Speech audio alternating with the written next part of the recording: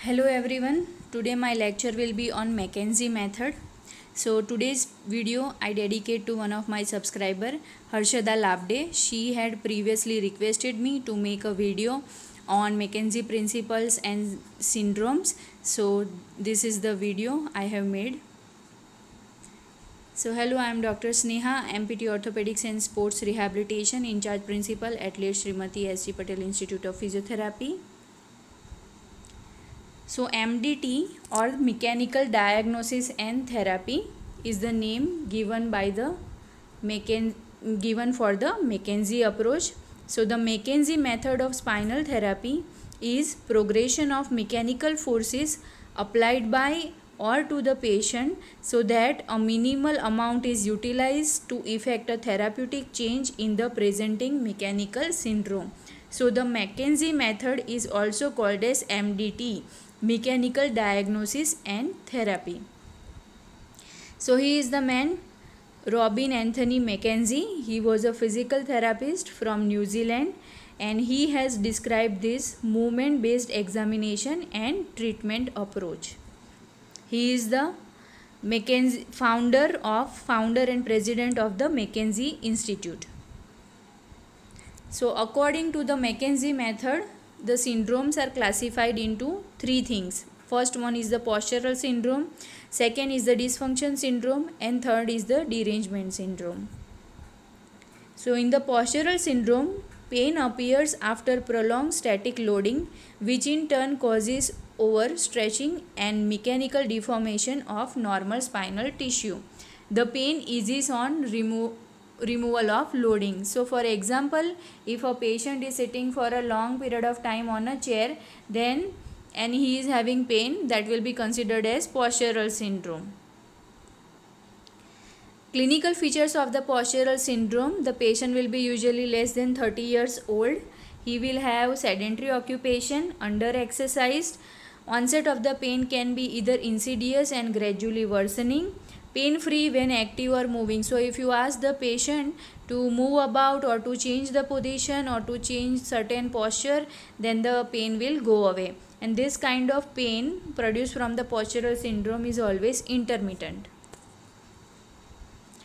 So postural pain arises mostly from joint capsules or adjacent supportive ligaments and is the result of prolonged and end range positioning Moving from the end range is sufficient to relieve the pain immediately. So if we ask the patient to change his posture or to change his position immediately the, the pain which is due to the postural syndrome will go away. Dysfunction syndrome. So the dysfunction pain appears immediately when shortened spinal tissues are stretched.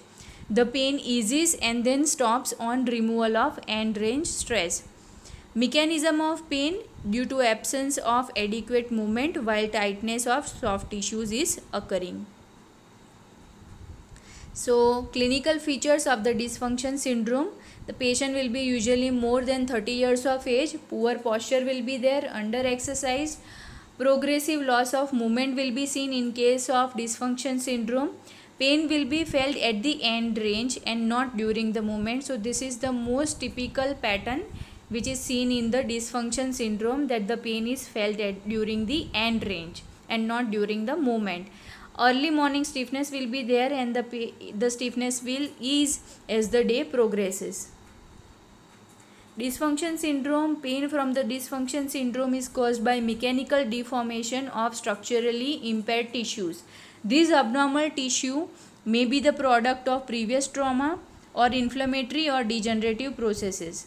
These events cause contractions, scarring, adherence, adaptive shortening or imperfect repair pain is felt when the abnormal tissue is loaded.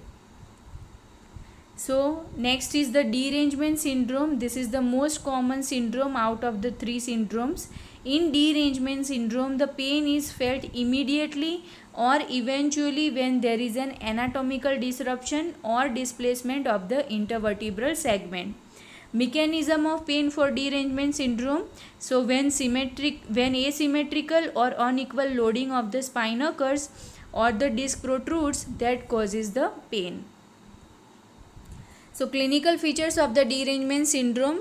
Patient can be of be anywhere between 20 to 55 years of age. Pain can be either gradual or sudden or it can be constant or intermittent. There is usually a sudden onset of pain and it is disabling type. Diminished range of motion will be seen in case of derangement syndrome. Pain can even travel from proximal to distal or the pain can be even radicular eh, pain can be seen in radicular pattern also. Certain loading patterns may cause the pain in case of derangement syndrome. Okay? It can either cause the pain or to worsen the pain or it can peripheralize while the opposite loading strategies cause a reduction abolition or centralization of symptoms and a recovery of movement so this kind of feature is only seen or only found in the derangement syndrome so centralization and peripheralization is seen in the derangement syndrome. So now let's see what is centralization and peripheralization. As you can see on the right hand side of the picture, the symptoms of the patient is starting from the lumbar spine and going through the thigh, posterior aspect of the thigh, calf muscles and even the foot is getting affected. So this is called as peripheralization of the symptoms. And on the right hand side of the picture you can see that the pain is uh, before you can see in the first picture you can see it is in the lumbar spine and the pain is also going down the buttock but with the time the pain is only localized in the lumbar spine so this phenomena is called as centralization. So the centralization and the peripheralization it can be seen in case of derangement syndrome. So this is the algorithm for the diagnosis. First is history taking. We have to take the history of the patient, identify the red flags and then physical examination and testing is done. So Provisional classification is uh, loading strategies decrease, abolish or centralize the symptom of the patient. Then it is derangement of reducible type. No loading strategies decrease, abolish or centralize the symptom. Then it is derangement irreducible. Pain is only at the limited end range. Then it is considered as dysfunction or adherent nerve root. And pain only on static loading physical exam exam is normal but pain is only at the static loading then it can be considered as the postural syndrome. So this is the classification that is confirmed within 3 to 5 visits. If fail to enter a spinal mechanical classification then consider other conditions. It can be stenosis hip joint problem si joint problem and mechanically inconclusive problems spondylolisthesis and chronic pain state. So assessment history should be taken then we have to identify whether it is mechanical or non-mechanical pain and ergonomic factors also should be identified posture neurological examination examination of the movement dynamic mechanical evaluation and static mechanical evaluation should be done palpation should be done so repeated movement testing is the key feature of the McKenzie diagnosis method. So 8 to 15 8 to 15 times the movement should be done.